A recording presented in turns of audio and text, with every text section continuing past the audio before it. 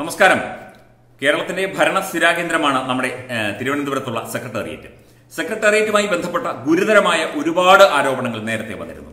സെക്രട്ടേറിയറ്റിൽ നടക്കുന്ന ചില അവിശുദ്ധ ഇടപാടുകളും അത്ര ശ്ലീലമല്ലാത്ത പല കാര്യങ്ങളും അതായത് സെക്രട്ടേറിയറ്റിൽ ഒരു വൻ സെക്സ് റാക്കറ്റ് സംഘം വിലസുന്നു. അതിന് നേതൃത്വം കൊടുക്കുന്നത് ഒരു സി നേതാവാണ് എന്ന് നേരത്തെ തത്വമേ ന്യൂസ് എക്സ്ക്ലൂസീവായി റിപ്പോർട്ട് ചെയ്തിരുന്നു. സെക്രട്ടേറിയറ്റിൽ ഈ ഫയലുകൾ കത്തുന്നു. സി സി ടി വി ക്യാമറകൾ ഇടിവെട്ടേറ്റ് കേടാകുന്നു. അതുപോലെ തന്നെ ഫാൻ ഒരു മാസം കറങ്ങിക്കൊണ്ടിരിക്കുന്നു. സെക്രട്ടേറിയറ്റിൽ എന്തൊക്കെയാണ് നടക്കുന്നത് എന്നുള്ള കാര്യത്തെക്കുറിച്ച് സത്യം പറഞ്ഞാൽ ഒരു ജുഡീഷ്യൽ അന്വേഷണം തന്നെ വേണം എന്നുള്ളതാണ് മനസ്സിലാക്കുന്നത് സെക്രട്ടേറിയറ്റിനുള്ളിൽ ഇവിടെ പാർട്ടിക്കാരുടെയും അതുപോലെ തന്നെ ഉദ്യോഗസ്ഥരുടെയും ഒക്കെ അവിശുദ്ധ കൂട്ടുകെട്ടിന്റെ ഒരുപാട് അണിയറ കഥകളാണ് പുറത്തു വന്നത് പുറത്തു വരാത്തത് അതിലേറെയുണ്ട്. സെക്രട്ടേറിയറ്റിലെ ഇപ്പോൾ ഗുരുതരമായി വന്നിരിക്കുന്ന ഒരു ആരോപണം സെക്രട്ടേറിയറ്റിലെ വിവരങ്ങൾ. സെക്രട്ടേറിയറ്റിലെ പല ഫയലുകളും ഈ ഫയലുകളായി സൂക്ഷിച്ചിരിക്കുന്നു എന്നാണ് പറയുന്നത്. കത്തുന്ന ഫയലുകൾ വരെ സൂക്ഷിച്ചിട്ടുണ്ട്. അതവിടെ നിൽക്കട്ടെ. എന്നാലും ഇത്തരം സംവിധാനങ്ങളും സെക്രട്ടേറിയറ്റിലെ വിവരങ്ങളും ഒക്കെ തന്നെ പല ഹാക്കർമാരും വിദേശത്തടക്കമുള്ള പല ഹാക്കർമാരും ചോർത്തി എന്നുള്ള വളരെ ഗുരുതരമായി ഞെട്ടിപ്പിക്കുന്ന ഒരു സൂചനയാണ് പുറത്തു വന്നിരിക്കുന്നത്. മലയാള മനോരമയാണ് ഈ വാർത്ത റിപ്പോർട്ട് ചെയ്തിരിക്കുന്നത്.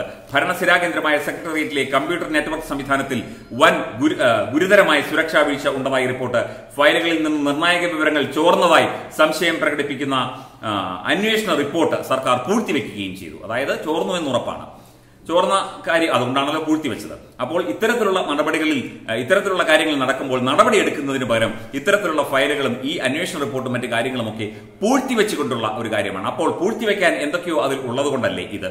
എന്തൊക്കെ വിവരങ്ങളാണ് ഇവർ ചോർത്തിയെടുത്തത്? ഇതൊക്കെ പൊതുജനങ്ങൾ അറിയേണ്ടതല്ലേ? പൊതുജനങ്ങൾ ജനങ്ങൾക്കായി പ്രവർത്തിക്കുന്ന ഒരു സംവിധാനമാണല്ലോ സെക്രട്ടേറിയറ്റ് എന്ന് പറയുന്നത്. സെക്രട്ടേറിയറ്റിലെ വിവിധ വകുപ്പുകളിലായുള്ള കമ്പ്യൂട്ടർ ശൃംഖലയിലാണ് അതായത് സെക്വാൻ. ഈ എൻ ഐ ശൃംഖലയിലാണ് വിദേശ ഹാക്കർമാരുടെ നുഴഞ്ഞുകയറ്റം ഉൾപ്പെടെ ഇപ്പോൾ സംശയിക്കുന്നത്. ചില കമ്പ്യൂട്ടറുകളിൽ വിദൂര നിയന്ത്രണ സോഫ്റ്റ്വെയറുകൾ അടക്കം ക്ഷുദ്ര സോഫ്റ്റ്വെയറുകളുടെ സാന്നിധ്യം കണ്ടെത്തിയിട്ടുണ്ട്. അതുപോലെ ഫയലുകളുടെ കൈമാറ്റത്തിനുള്ള ഇ ഓഫീസ് സോഫ്റ്റ്വെയറിന്റെ ഉൾപ്പെടെയുള്ള പ്രവർത്തനത്തെ ഇത് കാര്യമായി ബാധിച്ചിട്ടുണ്ട്. ഇതിപ്പോൾ എല്ലാ ഫയലുകളും ഓരോ ജീവിതങ്ങളാണെന്നൊക്കെ പറയാം എന്നുള്ളതല്ലാതെ ഇത്തരത്തിലുള്ള കാര്യങ്ങൾ വരുമ്പോൾ ഇതിനെക്കുറിച്ചൊന്ന് പ്രതികരിക്കാൻ പോലും മുഖ്യമന്ത്രിയോ മന്ത്രിമാരോ അല്ലെങ്കിൽ ഉദ്യോഗസ്ഥരോ തയ്യാറാകുന്നില്ല. സർക്കാർ സംവിധാനങ്ങളോ തയ്യാറാകുന്നില്ല എന്നതാണ് ഏറ്റവും ഗുരുതരമായ വീഴ്ച. സർക്കാർ നിയോഗിച്ച വിദഗ്ധ ഏജൻസിയുടെ അന്വേഷണ റിപ്പോർട്ട് സെക്രട്ടേറിയറ്റിന്റെ ആഭ്യന്തര സുരക്ഷയെ ബാധിക്കുന്നതാണെന്ന പേരിൽ പുറത്തുവിടാൻ സംസ്ഥാന സർക്കാർ തയ്യാറാകുന്നില്ല എന്നാണ് പരാതി റിപ്പോർട്ടിലെ വിവരങ്ങളും ശുപാർശകളും അതീവ രഹസ്യമാണെന്ന് വിവരാവകാശ പ്രകാരമുള്ള ചോദ്യത്തിന് നൽകിയ മറുപടിയിൽ ഐ ടി വകുപ്പ് വ്യക്തമാക്കി. സമീപ വർഷങ്ങളിലായി മാർച്ച് മാസത്തിൽ ഇ ഓഫീസ് സംവിധാനം തുടർച്ചയായി തകരാറിലാകുന്നത് ശ്രദ്ധയിൽപ്പെട്ടതോടെയാണ് ഇതേക്കുറിച്ച് പഠിക്കാൻ തീരുമാനിച്ചത്. നെറ്റ്വർക്ക് സംവിധാനത്തിന്റെ സുരക്ഷ ഓഡിറ്റ് നടത്താനും നുഴഞ്ഞുകയറ്റം ഉൾപ്പെടെ പഠിക്കാനും തിരുവനന്തപുരത്തെ സ്വകാര്യ കമ്പനി രണ്ടായിരത്തി പത്തൊൻപത് ഏപ്രിൽ പതിനൊന്നിനാണ് ഏൽപ്പിച്ചത്. കേന്ദ്ര ഇലക്ട്രോണിക് ആൻഡ് ഇൻഫർമേഷൻ ടെക്നോളജി മന്ത്രാലയത്തിന് കീഴിലുള്ള Indian computer agency response team അംഗീകരിച്ച സ്ഥാപനമാണ് ഇതെന്ന് പറയപ്പെടുന്നു. അങ്ങനെ ഒരു സ്ഥാപനത്തെ അതിനെ നിയോഗിക്കുകയും വിദേശത്ത് ഉള്ള ഹാക്കർമാരടക്കം സെക്രട്ടേറിയറ്റിലെ വിവരങ്ങൾ ചോർത്തി എന്ന് മനസ്സിലാവുകയും ചെയ്തതിന് ശേ- അതിനുശേഷം ഇതേക്കുറിച്ചുള്ള വിശദമായ അന്വേഷണ റിപ്പോർട്ട് എന്തുകൊണ്ട് സർക്കാർ പുറത്തുവിടാൻ തയ്യാറാകുന്നില്ല? അതിൽ എന്തൊക്കെ വിവരങ്ങളാണ് അടങ്ങിയത്? ഏതൊക്കെ തരത്തിലുള്ള ഫയലുകളാണ് ചോർന്നത്? എന്തൊക്കെ വിവരങ്ങളാണ് ഹാക്കർമാർ ചോർത്തിയത്? ഇത് അടിയന്തരമായി അന്വേഷിക്കേണ്ട വിഷയമാണ്. മാത്രമല്ല സെക്രട്ടേറിയറ്റ് പോലെയുള്ള ഇത്രയും സുരക്ഷാ സംവിധാനങ്ങൾ ഒക്കെ നിലനിൽക്കുന്ന ഒരു സ്ഥാപനത്തിൽ സംസ്ഥാനത്തിന്റെ ഭരണ സ്ഥിരാകേന്ദ്രത്തിൽ ഇത്തരം ഒരു ഗുരുതരമായ വീഴ്ച എങ്ങനെയുണ്ടായി എന്നുള്ള കാര്യത്തിന് കൂടി സർക്കാർ മറുപടി പറയണം. സർക്കാരിന്റെയും സർക്കാരിന്റെയും ഉദ്യോഗസ്ഥരുടെയും അതുപോലെ തന്നെ വിവിധ ഏജൻസികളുടെയും ഇവർ ഈ കൺസൾട്ടൻസി ഏജൻസികൾക്കൊക്കെയാണല്ലോ പല കാര്യങ്ങൾ കൊടുത്തിരിക്കുന്നത്.